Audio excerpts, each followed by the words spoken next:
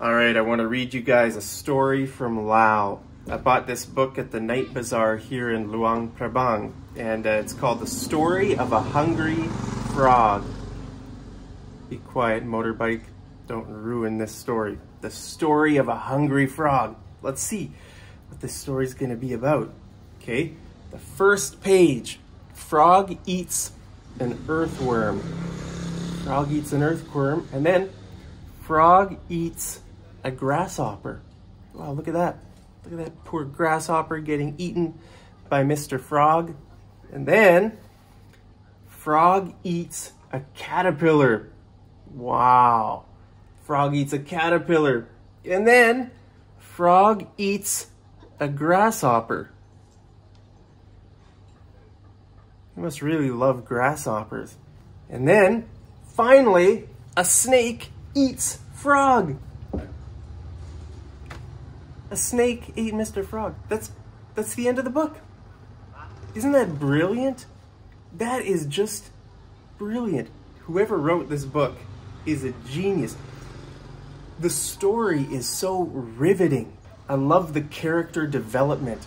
Right, at first you see a frog and you know, it's a story of a hungry frog. And you think, hmm, why is the frog hungry? What's, who is the frog? What's he going to do?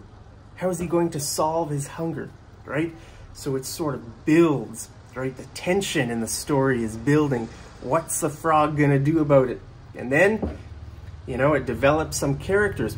We have an earthworm, we have a grasshopper, and then we have a caterpillar, and then the grasshopper makes a dramatic reappearance in the story.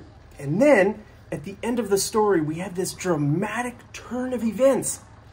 The frog has been eating all the other animals in the story. But then at the end of the story, everything turned, the tables get turned, and the frog himself gets eaten. Isn't that, it just, it just leaves you shocked. At the end of, you know, when I read this, I was just shocked. It, it just leaves you speechless you don't see it coming. It's such a, it's an element of surprise. Just the dramatic turn of events. Here in the story, the frog is the one who's been the aggressor, eating all the other animals.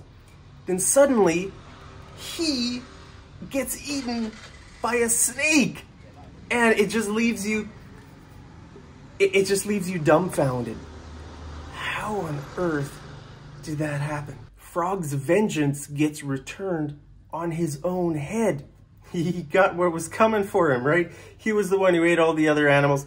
Then in the end, he gets eaten by a hungry snake. And that's it. Well, I hope you guys enjoyed the story of Lao. Hope you're having a great day, and I'll see you over in the next episode of Mad English TV. Take care.